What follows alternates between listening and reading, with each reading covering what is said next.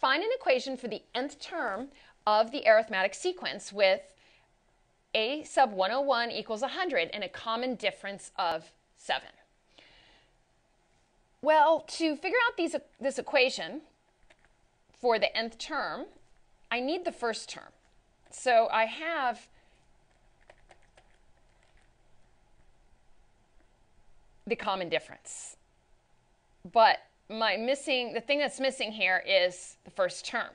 So how do I figure that out? Well, I do know another term. I know an a sub n. Since I know a sub n or a sub 101, and I know that n is 101 in that case, and I know the common difference, I can solve. So I'm going to first solve for the first term.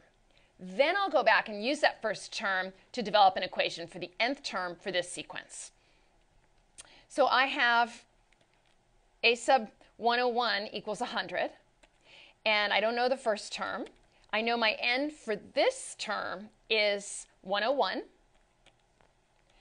and I'm going to say minus 1 times the common difference, which is 7. So this gives me 100 equals a sub 1 plus 100 times 7. 100 equals a sub 1 plus 700.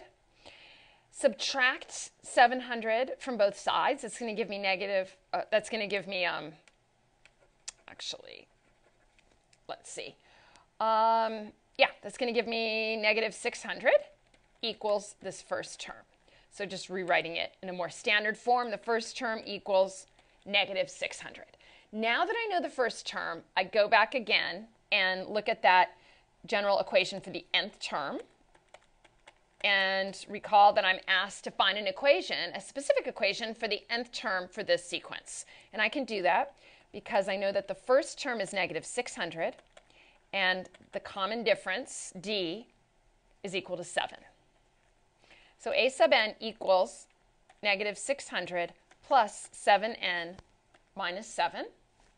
This equals a sub n equals 7n minus 607, just simplifying. So I had to take an extra step here because I wasn't given the first term. But since I was given another term, I could find the first term, and then I went ahead and I used that to find the equation um, for the nth term for this sequence, which is a sub n equals 7n minus 607. This concludes the lesson on arithmetic sequences on educator.com.